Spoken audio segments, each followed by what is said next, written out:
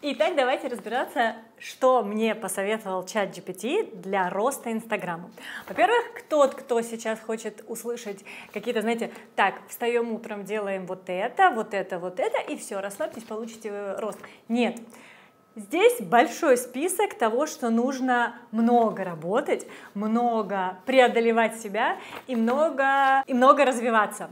И за это я обожаю не только Инстаграм, я обожаю вот эти сложности, которые показывают, кто ты на самом деле есть, и которые расширяют твои возможности. Итак, я художник Резинарт, и у меня инстаграм-аккаунт с таким-то, таким-то количеством подписчиков, но последнее время рост остановился. Подскажи э, чат GPT конкретные шаги, которые надо предпринять для привлечения аудитории. Я Наталья Рюмина, кто подписан на меня, меня знает.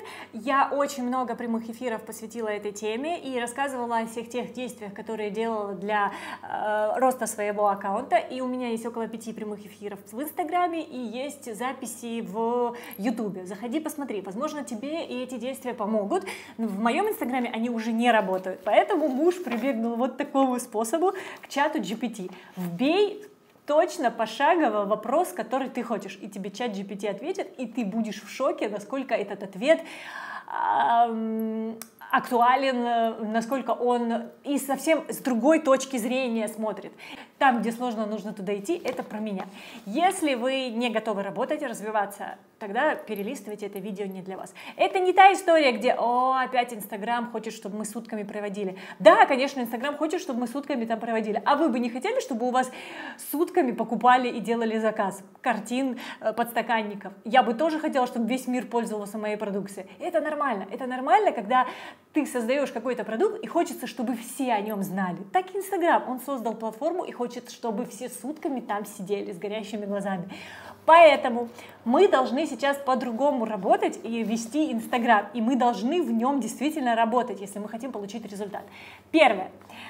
А, регулярно обновляйте контент. Это у меня всегда было, но единственное, я подметила, что я действую импульсивно, и у меня нету э, систематичности. Поэтому я решила, что буду четко соблюдать э, время выставления. То есть рано утром я для себя определила, рано утром каждый день я буду выставлять видео, рил, фотографии, это уже по желанию. Э, и по статистике советуют вообще вечером это делать, так как все приходят с работы, и типа вечером это больше набирает охватов. Но я просыпаюсь рано утром и заранее себе монтирую видосик, или сразу же там, я не знаю, в ванной быстро монтировала и выставила. Я делаю это каждый день. Да, каждый день. В течение э, 4-6 месяцев, если ты будешь выставлять каждый день и соблюдать все следующие пункты, у тебя будет результат. Дальше. А, разнообразие контента. Это да, я приучила себя к тому, что я меняю видео ракурсы и меняю э, эстетику видео. То есть, если я снимаю там красивый процесс, то выставляю там, например, сегодня красивый процесс, завтра техническое видео, то есть более, э, более грязное и сам, сам процесс создания изделия. И меняю превьюшки. То есть, если одно видео крупно сделала, да, превьюшку, то, то есть там макро какой-то цветок. Одно видео непонятная какая-то превьюшка с пленкой, а одно видео супер красивое, чтобы можно было ленту пролистать и посмотреть вообще в чем интерес этого мастера. Дальше, используйте хэштеги. Вот хэштеги я вообще забыла и не использовала до того, как вот начала вот это все делать. Сейчас прям вспоминаю, э, мониторю, какими хэштегами пользуются большие аккаунты и применяю хэштеги. И геолокацию сделаю. Дальше, взаимодействие с подписчиками. Вот этого вообще никогда не делала, но теперь, когда я выставляю видео, я прям э, около 5 или 10 минут провожу в Инстаграме после выставления видео, листаю ленту и что мне нравится, лайкаю и комментирую. Обычно я не лайкала, не комментировала. Обычно я выставляла видео и уходила из Инстаграма. А, это, кстати, тоже работало. Можешь попробовать, может, у тебя сработает.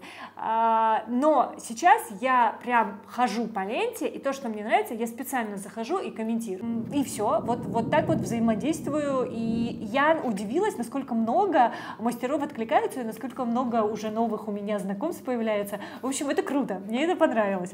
Дальше. Сотрудничество с другими художниками. Да, вот это вот тоже, да, я прям себя заставила, я, я общительный человек, но в социальных сетях я ненавидела общаться, я ненавидела э, чатиться, переписываться, но сейчас меня Инстаграм это заставил сделать, и спасибо ему, потому что я опять-таки познакомилась с только новыми художниками, я прям в наглую предлагала сотрудничество, предлагала провести прямые эфиры, предлагала какие-то рисовашки, какие-то конкурсы, и вот заставьте себя. И не сомневайтесь, ой, а что я там умею, у меня мало аудитории или что-то еще. Вы найдете в любом случае того, кто откликнется вашей идее. Поверьте мне. Дальше. История и прямые эфиры. Это тоже.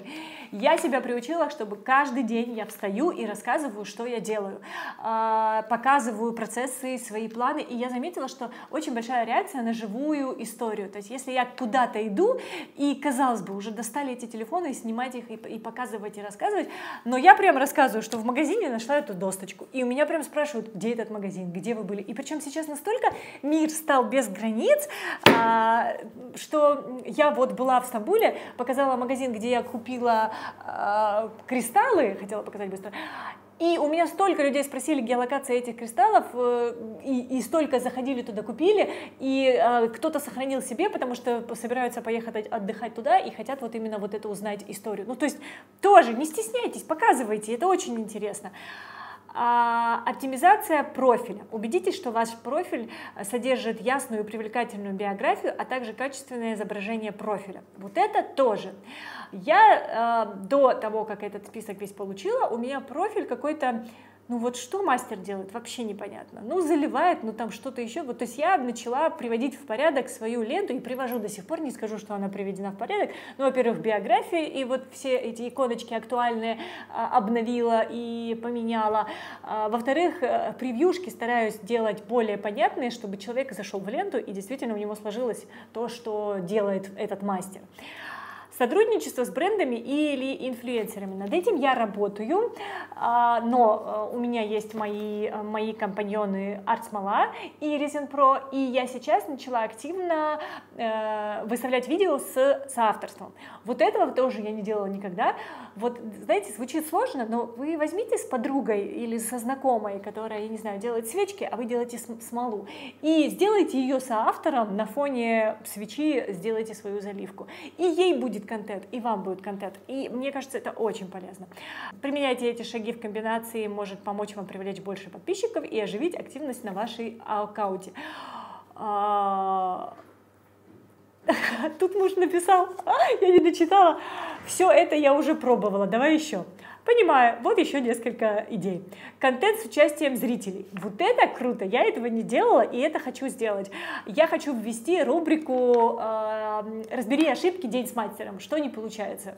Вот, вот это ввожу и буду сделать. Приглашаю своих подписчиков участвовать в создании контента, например, путем проведения конкурсов лучших дизайнов и предложения тем для новых работ. Вот.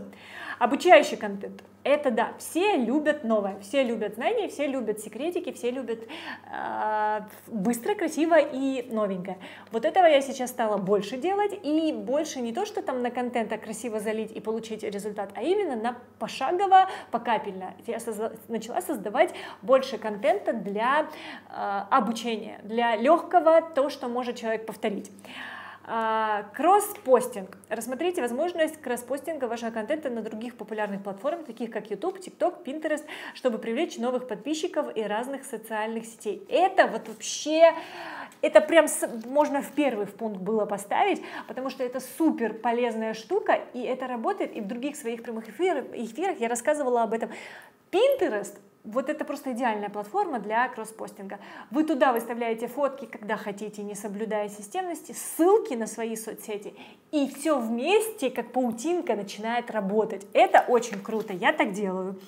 А, контент а, о закулисье. Это показывайте не только готовые работы, но и процесс их создания. Ошибки, испытания, трудности. Вот это у меня не было никогда, и я сейчас начала это делать, и мне муж тоже замечание делал. Ты показываешь процесс, который э, красивый, глянцевый, но не рассказываешь о своих сложностях, потому что я не воспринимаю это как сложности, поэтому я рассказываю все, потому что мне кажется, что все очень легко. Но на самом деле, конечно, у меня есть, я даже вот смотрю сейчас на памятник смолы, э, упорола 300 грамм смолы, забыла, оставила ее на обогревателе, это не раз происходит, о поломках, о неудачных заливках, этого, конечно, много у меня, и я это рассказываю, и люди живо реагируют на это, и начинают писать мне, а мы думали, что у вас все идеально получится. Нет, у меня вообще не все идеально, и не с первого раза, поэтому тоже делитесь этими.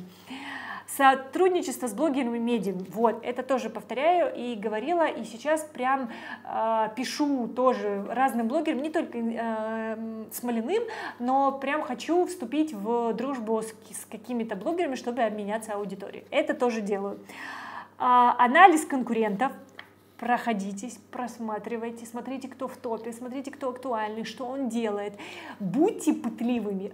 Во-первых, вся 90% информации уже есть в аккаунтах у э, инфлюенсеров. Только нужно смотреть внимательно, нужно э, смотреть, чем увлекаются. Ага, сейчас начали глину делать, ага, а сейчас свечки, ага, а сейчас перешли смола, там, я не знаю, с фруктами, с сухоцветами. То есть переключайтесь быстро, мониторьте это все. Платный рекламный контент. Рассмотрите возможность запуска рекламных кампаний в социальных сетях, чтобы расширить охват вашего контента. Но, к сожалению, из-за санкций этого сейчас в некоторых регионах нельзя сделать, но тоже можно найти лазейки. Да, попробуйте внедрить эти стратегии в ваш план действий и продолжайте экспериментировать, чтобы найти более э, эффективные способы привлечения аудитории. Вот это все сейчас делаю. И мой аккаунт сдвинулся с мертвой точки. Вот просто за две три недели я сейчас это делаю, у меня со ступора 141 тысячи, а сейчас, по-моему, 148 за три недели. Так что, ребятки, берем себя в руки и бусиками-бусиками работаем. Легко не будет, будет сложно, но проделайте, это не сложно на самом деле. Это заставит вас работать, и вы будете кайфовать от этого результата. Пишите, звоните, делитесь информацией. С вами была Наталья Рюмина и с маленькими новостями. Всем отличного дня!